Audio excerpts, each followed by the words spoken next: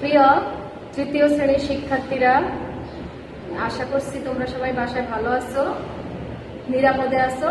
আজকে আমরা বিজ্ঞান বিষয় নিয়ে আলোচনা করব। বিজ্ঞান বিষয়ে এর আগে আমরা অধ্যায় তিন থেকে আলোচনা করেছিলাম। একটা ক্লাস হয়েছে। আজকে আমরা অধ্যায় তিন থেকেই গত পদার্থের তিন অবস্থা নিয়ে আলোচনা গত ক্লাসে আমরা আলোচনা করেছি পদার্থ কি, পানির কি কি অবস্থা আছে, এসব নিয়ে। আজকে আমরা আলোচনা করব পদার্থ কয়টা অবস্থায় থাকতে পারে। আমাদের পৃথিবীতে যতগুলো পদার্থ আছে, সবগুলা কিন্তু তিন ভাগে আছে। অর্থাৎ সকল ধরনের পদার্থই তিন অবস্থায় আছে। কি কি অবস্থায় আছে? কঠিন, তরল এবং বায়বীয়। এখন আমরা দেখি এই কঠিন পদার্থ, তরল পদার্থ, বায়বীয় পদার্থ কি কি বৈশিষ্ট্য রয়েছে। প্রথমে আমরা দেখি কঠিন পদার্থ। কঠিন পদার্থের নির্দিষ্ট আয়তন এবং আকার থাকে, যেমন কি পাথর। পাথর খুবই শক্ত, কঠিন পদার্থ। এটার কোনো আকার পরিবর্তন হবে না। যদি আমরা অনেক উপর থেকে পাথরটাকে নিচে ফেলে দেই, তাহলে কিন্তু এর আকার এবং আকৃতি কিছুই হবে না, একই থাকবে। এছাড়াও কঠিন পদার্থের আরও কিছু উদাহরণ রয়েছে, যেমন বরফ, টেবিল পেন্সিল ইট ইত্যাদি এই গেল আমাদের কঠিন পদার্থ। তারপর আমরা দেখি তরল পদার্থ। তরল পদার্থ বলতে আমরা কোনটাকে বুঝব? যেটা তরল, পানি জাতীয়। সেটাকে আমরা বুঝি তরল পদার্থ। দেখো, তরল পদার্থের কি বৈশিষ্ট্য আছে? তরল পদার্থের নির্দিষ্ট আয়তন আছে, কিন্তু নির্দিষ্ট আকার নেই। তরল পদার্থের নিজস্ব আয়তন আছে, কিন্তু নির্দিষ্ট কোনো আকার থাকে না। তারপর দেখো, তরল পাত্রে রাখা হয়, সেই পাত্রের আকার ধারণ করে। অর্থাৎ তরল পদার্থের আয়তন আছে, কিন্তু কোনো আকার নেই। আমরা এটাকে যেই পাত্রে রাখি, সেই পাত্রের আকারই ধারণ করে। যেমন আমরা যদি ফলের রস এটাকে গ্লাসে ঢালি, তাহলে গ্লাসের আকার ধারণ করে। ঠিক আছে? আমরা যেই ধরনের পাত্রে রাখব, সেই আকারে এটা বা কালার কোনো গ্লাসে সাদা গ্লাসে রাখলে মনে হবে এটা সা- একরকম তারপরে রঙিন গ্লাসে রাখলে তখন মনে হবে আরেক রকম। তাহলে এটা পাত্রের আকার ধারণ করে।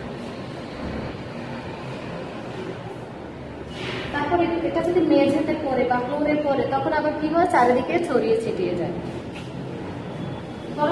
কিছু উদাহরণ আছে যেমন পানি, শরবত, দুধ, তেল রস ইত্যাদি। এগুলোও কি?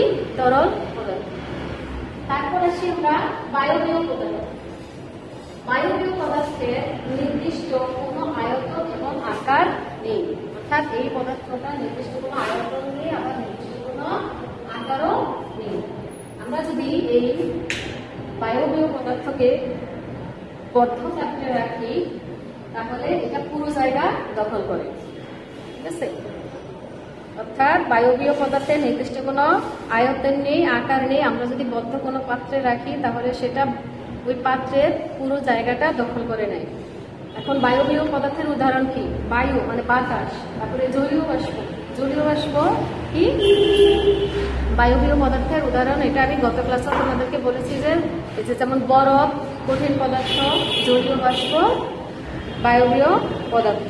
তাহলে আজকের ক্লাসে আমরা কি শিখলাম? আজকের ক্লাসটা ছিল মূলত পদার্থের অবস্থা নিয়ে। আমরা এর আগে শিখেছি পদার্থ কি? পদার্থ কি? পদার্থ হলো যার ওজন আছে এবং জায়গা দখল করে বলভাগে বাধার সৃষ্টি করে, সেটাই হলো কি?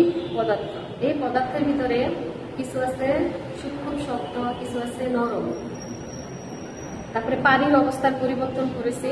পানির অবস্থারও তিন রকম হয়, যেমন জলীয় বাষ্প আছে তারপরে বায়বীয় অবস্থা আছে হ্যাঁ তরল আছে পানিরও তিনটা অবস্থা আছে। এখন পদার্থের তিন অবস্থা আজকে আমরা শিখলাম, কি কি অবস্থা। আমাদের পৃথিবীতে তো অনেক ধরনের পদার্থ রয়েছে। তার মধ্যে সব পদার্থই কিন্তু তিন তিন অবস্থায় রয়েছে।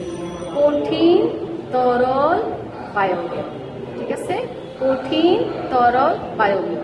কঠিন পদার্থের নির্দিষ্ট আয়তনও আছে, আকারও আছে। হ্যাঁ? তার মানে এটার আয়তন, আকার নির্দিষ্ট। তরল পদার্থের আয়তন আছে কোনো নির্দিষ্ট আকার নেই। তারপর যেই পাত্রে রাখি আমরা, সেই পাত্রের আকার ধারণ করে। তারপর বায়বীয় পদার্থ।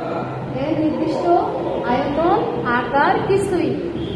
যদি আমরা বদ্ধ পাত্রে রাখি তাহলে সেই পাত্রের পুরো জায়গাটা এটা দখল করে তাহলে শিক্ষার্থীরা, আমি আশা করছি তোমরা এই অধ্যায়টা বুঝতে পেরেছ। এই অধ্যায়টা আজকে এখানেই শেষ। এই অধ্যায় আমরা শিখেছি কি, পদার্থ কি, পানির কয়টি অবস্থা রয়েছে, পদার্থের কয়টা কয়টা অবস্থা রয়েছে, অর্থাৎ পদার্থ কয় ধরনের। তোমরা বাসায় এই অধ্যায়গুলো, এই অধ্যায়টা আরও ভালো মতো পড়বে। এটাই তোমাদের পড়া থাকল। আমি আজকে যা পড়ালাম, এটা তোমাদের বাসায় পড়াবো আমি যেদিন যেটা পড়াবো, সেটা তোমরা অবশ্যই বাসায় পড়ে ফেলবা। তাহলে দিনের পড়া তোমাদের দিনেই শেষ হয়ে যাবে। তোমরা বাসায় থেকো স্বাস্থ্যবিধি মেনে চলবে অবশ্যই। সুস্থ থেকো পড়ালেখা করো আল্লাহ হাফিজ।